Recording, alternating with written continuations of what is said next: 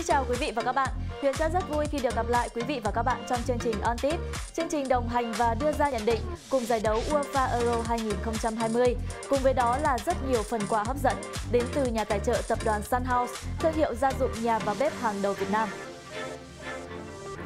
Thưa quý vị và các bạn, như vậy cái tên cuối cùng sẽ góp mặt trong trận chung kết của Euro năm nay đã được xác định sau trận bán kết đêm qua, đó chính là đội tuyển Anh. Dù thi đấu vượt trội hơn hẳn so với Đan Mạch, những chú sư tử Anh cũng cần phải bước vào quãng thời gian thi đấu hiệp phụ mới có thể định đoạt được kết quả của trận đấu. Với bàn thắng ấn định tỷ số 2-1 được ghi ở phút thứ 104 do công của Harry Kane. Với kết quả này, đội tuyển Anh sẽ bước vào trận chung kết Euro lần đầu tiên trong lịch sử của mình, nơi đối thủ đang chờ họ là đội tuyển Italia. Với nhiều người, Tam Sư đang hội đủ thiên thời, địa lợi, nhân hòa ở trận đấu sẽ diễn ra trên sân vận động Wembley tới đây. Tuy nhiên, Italia đang phô diễn thứ bóng đá hấp dẫn bậc nhất thế giới ở thời điểm hiện tại. Trận chung kết này vì thế chắc chắn sẽ là trận đấu không thể bỏ lỡ với tất cả chúng ta.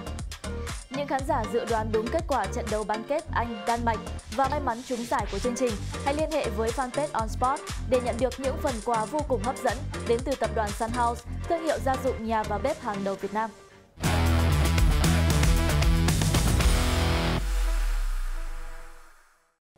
Thưa quý vị và các bạn, chỉ còn một trận đấu nữa vòng chung kết Euro 2020 sẽ khép lại và đây là thời điểm để chúng ta bầu chọn danh hiệu thủ môn xuất sắc nhất vòng chung kết.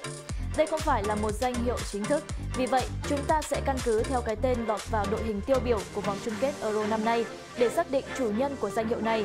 Sau đây sẽ là ba ứng viên cho danh hiệu thủ thành xuất sắc nhất. Cái tên đầu tiên mà chúng tôi muốn nhắc tới không ai khác chính là Jordan Pickford của đội tuyển Anh.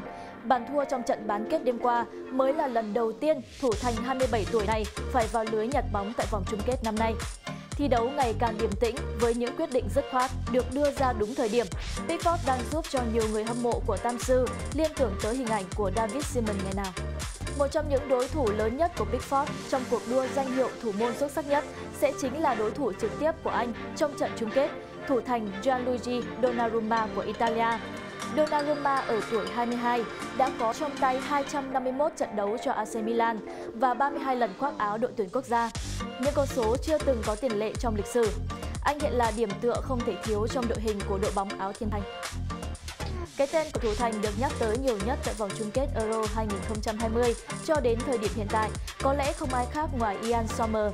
Màn trình diễn đỉnh cao của anh trong thời gian thi đấu hiệp vụ ở trận tứ kết đã giúp đội hình 10 người của Thụy Sĩ đứng vững trước đội tuyển Tây Ban Nha. Sommer là thủ thành có số pha cứu thua cao nhất tính đến thời điểm hiện tại và mặc dù không có trận giữ sạch lưới nào, có lẽ không ai nghi ngờ việc những đóng góp của anh đã góp phần quan trọng như thế nào để đưa Thụy Sĩ vào tới tứ kết. Trong đó có tình huống cản phá thành công, cú đá luân lưu của Mbappe để khiến các nhà đương kim vô địch thế giới Pháp phải ra về trong tiếc nuối.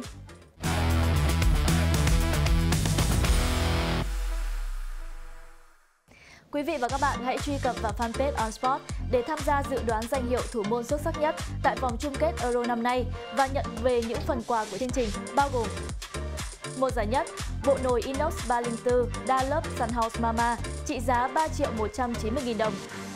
Một giải nhì, ấm siêu tốc inox 2 lớp 1,7 lít Sunhouse Mama trị giá 670 000 đồng. Ba giải ba, mỗi giải một chảo inox 5 đáy Sunhouse trị giá 389 000 đồng. Chúc quý vị và các bạn sẽ trở thành những người chơi may mắn, nhận được phần quà giá trị đến từ nhà tài trợ tập đoàn Sun House, thương hiệu gia dụng nhà và bếp hàng đầu Việt Nam. Còn bây giờ, xin chào và hẹn gặp lại!